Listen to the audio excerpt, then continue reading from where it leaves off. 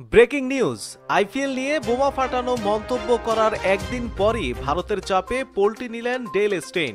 বিস্তারিত জানুন পুরো নিউজে। আইপিএল নিয়ে কথা বলতে যে মুখে লাগাম টেনে নিতে হয়, সেটি যেন ভুলেই গিয়েছিলেন ডেল স্টেন।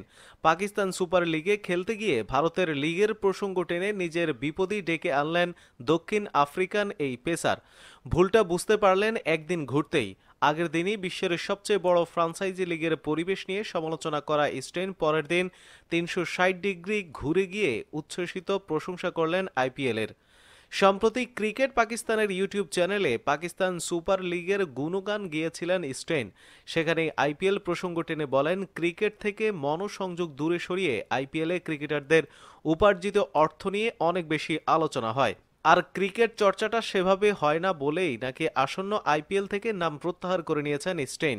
মঙ্গলবার তার এমন মন্তব্য সামাজিক যোগাযোগ মাধ্যমে ছড়িয়ে পড়তে সময় নেয়নি। স্টেইন বলেছিলেন, পাকিস্তান সুপার লিগে খেলাটা আমার কাছে এখন অনেক বেশি অর্থপূর্ণ। আইপিএলে এক একটা দলের বড় স্কোয়াডে একাধিক বড় বড় নাম থাকে।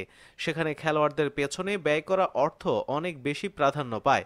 কোথাও গিয়ে যেন ক্রিকেটকেই পেছনের সারিতে ঠেলে দেওয়া হয় সেখানে। পাকিস্তান সুপার লিগ কিংবা শ্রীলঙ্কান প্রিমিয়ার লিগের প্রশংসা করতে গিয়ে আইপিএলকে খাটো করে ফেলেন স্টেইন।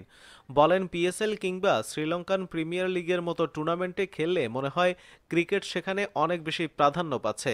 কিন্তু আইপিএলে এই ক্রিকেটীয় বিষয়টাই উধাও। সেখানে আসল ব্যাপার হলো কত টাকায় তুমি বিক্রি হলে।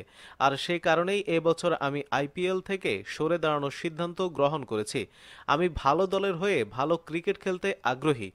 টুর্নামেন্টের শুরু থেকেই আইপিএলের সঙ্গে যুক্ত প্রোটিয়া পেসার এমন মন্তব্যে স্বাভাবিকভাবেই শোরগোল পড়ে যায়।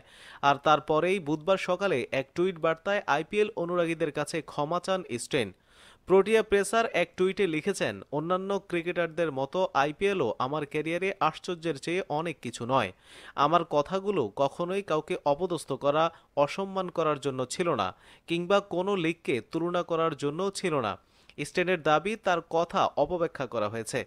টুইটের পরের অংশে তিনি লিখেছেন, সামাজিক যোগাযোগ মাধ্যম এবং প্রসঙ্গের বাইরে বেরিয়ে কিছু কথা মাঝে মাঝে মন্তব্যের অপব্যাখ্যা করে থাকে। আমার কথায় কেউ আঘাত পেলে আমি ক্ষমা চেয়ে নিচ্ছি। অনেক ভালোবাসা। ধন্যবাদ সবাইকে। প্রিয় দর্শক, আইপিএল নিয়ে বিরূপ মন্তব্য করা ডেলি স্টেন একদিনের মাথায় আবার আইপিএল এর প্রশংসা করছেন। কি কারণ হতে পারে? অবশ্যই কমেন্ট করে জানিয়ে দিন এবং প্রতিদিনের ক্রিকেটের খবর সবার আগে পেতে প্লাস মাইনাস চ্যানেলটি সাবস্ক্রাইব করে পাশে থাকা বেলাইকনটি প্রেস করে রাখুন। ধন্যবাদ সবাইকে।